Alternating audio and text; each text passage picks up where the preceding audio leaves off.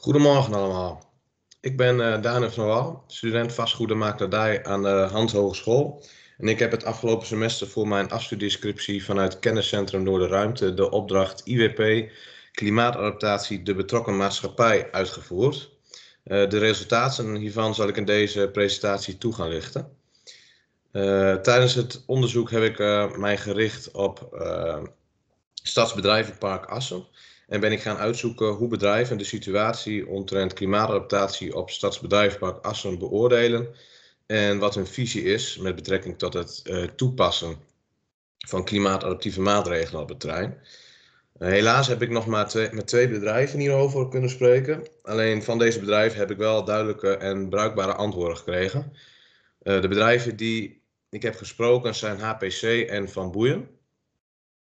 Allereerst HPC. HPC is een bedrijf dat flexibele verpakkingsmateriaal produceert. Uh, in het gesprek met HPC kwam al gauw naar voren dat ze voornamelijk te maken hebben met uh, hittestress en dat wateroverlast niet echt voorkomt op hun terrein. Deze hittestress wordt veroorzaakt door de combinatie van vele machines die aanstaan in het pand en het platte dak. Gekeken naar het toepassen van klimaatadaptieve oplossingen op de, om de hittestress te beperken, geeft HPC aan dit wel te willen doen, alleen dat er simpelweg gewoon geen geld voor is. Uh, ook geven ze aan dat er amper samengewerkt wordt met de ondernemersvereniging, uh, andere bedrijven en de gemeente Assen. Het is eigenlijk ieder voor zich, zeggen ze. de ondernemersvereniging houdt wel bespreking met bedrijven, alleen volgens HPC kun je hier alleen informatie krijgen die je niet zelf al wist. En ja, voor de rest wordt het voornamelijk gebruikt, gebruikt om gezellig bij te praten, in plaats van dat er echt actie ondernomen wordt. Ook geven ze aan dat er vanuit de gemeente Assen de mogelijkheid is om een gratis onderzoek te laten doen. Waarin een actieplan gemaakt wordt, waarin staat wat je allemaal kunt doen als bedrijf. Maar op het moment dat je daar wat mee wilt doen, dan gaan bedrijven die dat gratis onderzoek en het actieplan hebben gemaakt, verder op consultancytarief van 90 euro per uur. En vervolgens komen ze dan weer uit op, uh, nou ja, waar het mee begon. Dat is dat ze er geen geld voor hebben en dus stellen ze dat elke keer uit.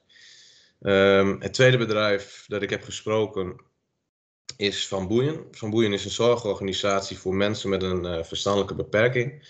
Van Boeien geeft aan dat ze bij zware regenval wel eens te maken hebben gehad met wateroverlast. Uh, dit kwam voornamelijk doordat de buren wat hoger gevestigd zijn dan hun waardoor al het water naar Van Boeien stroomt. Uh, dit hebben ze opgelost door zelf ook wat te verhogen en extra afwatering aan te leggen richting het riool. En kijkend naar het willen toepassen van klimaatadaptieve oplossingen voor wateroverlast bij zware regenval, uh, geeft Van Boeien aan dat hier geen prioriteit ligt. Het bedrijf kan het geld dat ze te besteden hebben beter gebruiken voor het uitvoeren van hun zorgfunctie en zullen daardoor niet snel geld uitgeven aan klimaatadaptatie. Uh, ook geeft Van Boeien, net zoals HPC, aan uh, geen contact te hebben met ondernemend Assen en de gemeente.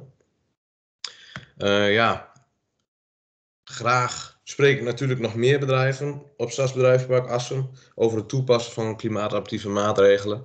Uh, mocht u werken voor een bedrijf op Stadsbedrijvenpark Assen dat hiervoor open staat, of kent u iemand die werkt bij een bedrijf op het terrein, dan kunt u contact met mij opnemen via r.d.van.der.wal.st.hanze.nl.